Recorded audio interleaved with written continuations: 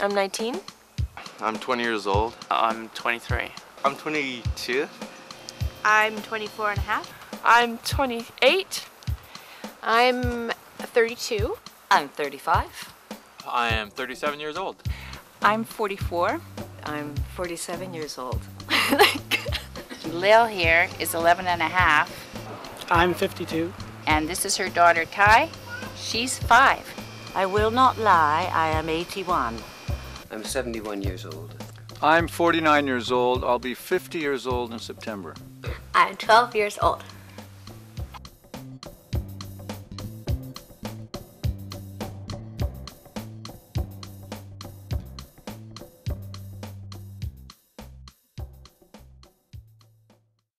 It's a curious business to think that age is all that important. I think we're all frightened of it. Well, when I was younger, I don't know. They were like, "Oh, she's so cute." And now when I come there, they don't really say that. I guess I don't know. I think that uh, that uh, people think that that getting older, you lose your energy and you get gray hair and stuff, and and you kind of get unsilly and and and and hardened or something. I think people think that. I don't know. I I don't know why I haven't got like that. Worst thing about grown-ups, I don't know. They're boring. They just want to sit around and talk about stuff that I don't know. It's boring. I'm not gonna be boring when I grow up. Nope. We have a notion that going through life is a kind of continuum and that you get smarter and smarter and then all of a sudden you start getting stupid again, you know, what we call senior moments when you can't remember your own name. My experience in life is that all of us grow unevenly and we leave some things behind that we haven't learned. And so that sometimes for some experiences, you suddenly feel as if you're back in adolescence. I won't think differently when I'm 90, but I'll act different. Musically, you have to be in the moment, and they say, all the saints and sages say, to live, you have to be in the moment, because the past is gone, the future isn't here, and time was created by people. There were no clocks till a couple hundred years ago. People are surprised because I don't have any gray hair and I'm almost 50. Is that a stereotype? I think being stereotyped by age happens all the time. The difficulty is if physically you don't suit the expectations, then it gets doubly confusing. I was six feet tall by the time I was 12. Nobody ever thought I was 12. I was never expected to be 12, except when I was nine. And then I was a sort of clumsy, stupid 12. I suppose I think a lot of the question of value that we put on age is connected to what we think we're doing here.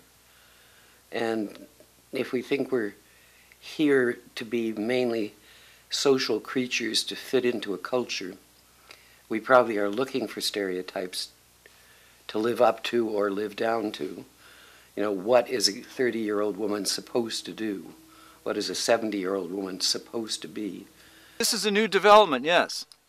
I am now nearsighted. Uh, this proves that my eyes are falling apart. This proves that age is marching on, of course. These are called corrective lenses. But isn't this the beginning of genetic alteration and everything? You know, as soon as you start to correct what you are, so you can do something that you wouldn't be doing if you couldn't correct it. I don't know. My sense of why I'm here is that to be born is to win the most incredible lottery imaginable. I mean, when you think of all the sperms and all the eggs that don't connect, and you arrive and you get born and you live, there isn't any real need to win any other lottery, but there certainly is a requirement, I think, to spend that amazing luck uh, with a kind of grace and, and responsibility to do something with that life we're given. And then I don't think age plays much of a part in it. The thing, drugs, sex, and rock and roll have kept me young. But that's my joke line. Um, really, I don't know. I'm not gonna stop being crazy. No.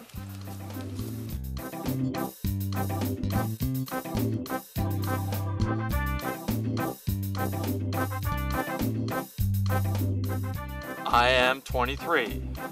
So I just say my age? I'm five. How old are you, Lindsay? I'm 32. I'm three. Lil in dog years is 60. And I'm 101.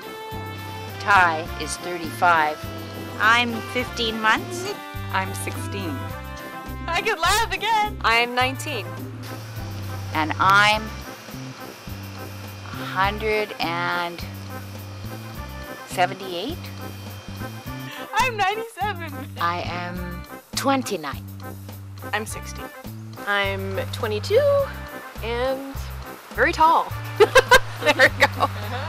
I'm 525 years old, 10 months, 5 days, 2 hours, 25 minutes. 49, and I'm sticking by it. There.